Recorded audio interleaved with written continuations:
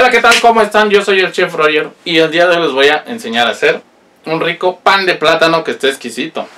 No me pude resistir.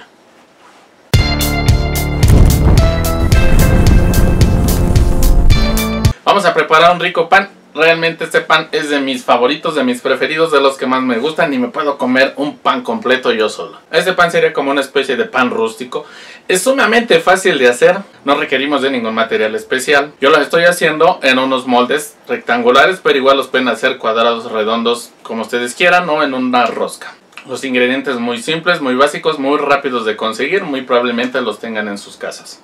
Espero sus comentarios sobre la nueva definición en HD. Este es el primer video que voy a subir en HD con la nueva cámara que algunos de ustedes ayudaron a comprar. Y coméntenme qué tal les parece la nueva alta definición del estilo Chef Roger. Por cierto, quedé mandarles algunos saluditos. Un saludo a Santiago que nos ve desde Murcia, España. Santi en Facebook a Carmen Ochoa, que también hace videos en YouTube, y a Usagi de Córdoba, Veracruz. Un saludo y gracias por seguirme en Facebook. En la parte de abajo les dejo los links por si se quieren agregar al grupo. No olviden suscribirse al canal si es que aún no lo hacen, no sé qué están esperando. Denle manita arriba.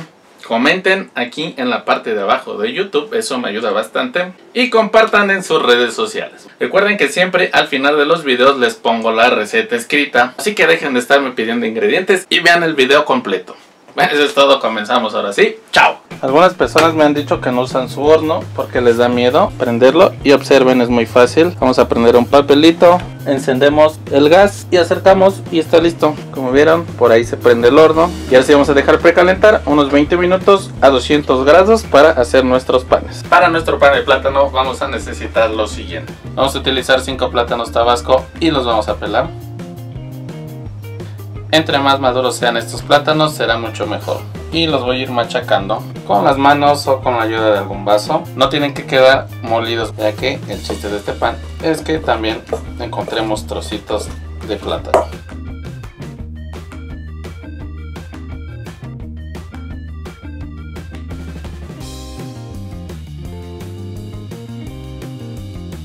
Solo una ligera machacada. Y está listo. Mientras tanto en otro tazón voy a poner 180 gramos de mantequilla o margarina. Sabe mejor con mantequilla.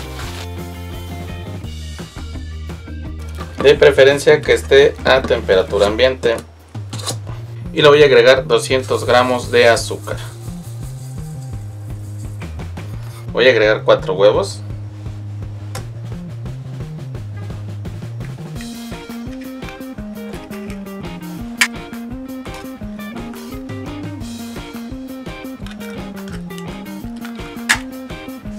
150 mililitros de leche, que es un poquito más de media taza. Y mezclamos muy bien con la ayuda de nuestra batidora.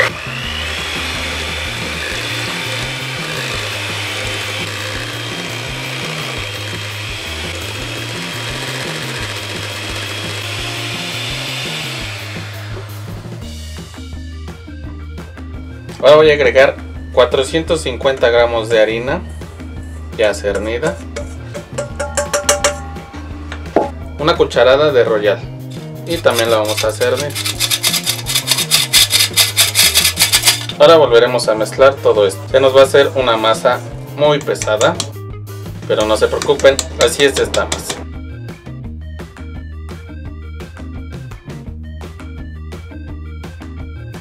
Y le vamos a ir agregando nuestro plátano machacado. Vamos a mezclar todo esto muy bien. Y como verán nos queda una masa bastante espesa, densa y con los trozos de nuestro plátano. Opcionalmente le podremos poner un poco de vainilla o canela en polvo para saborizarlo un poco más.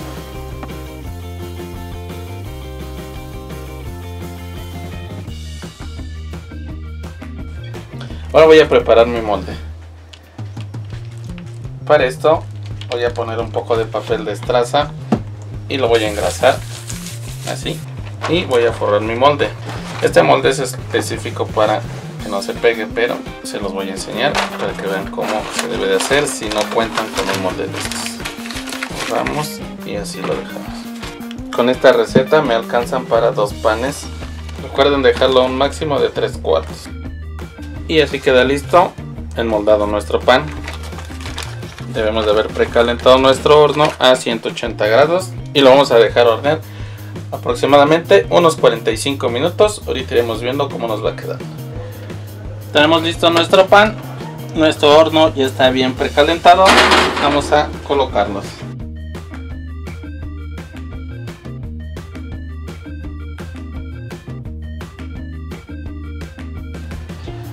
Hemos dejado 45 minutos nuestro pan de plátano.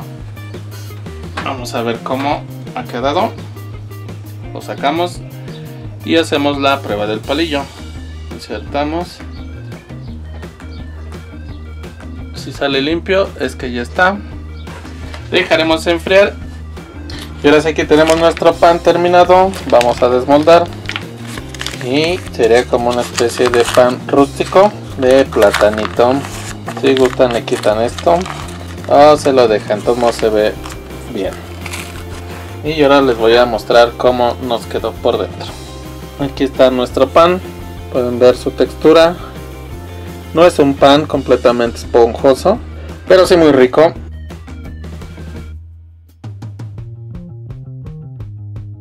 Aquí se alcanzan a ver los trozos de plátano. Bueno, eso es todo. Se los recomiendo y nos vemos a la próxima.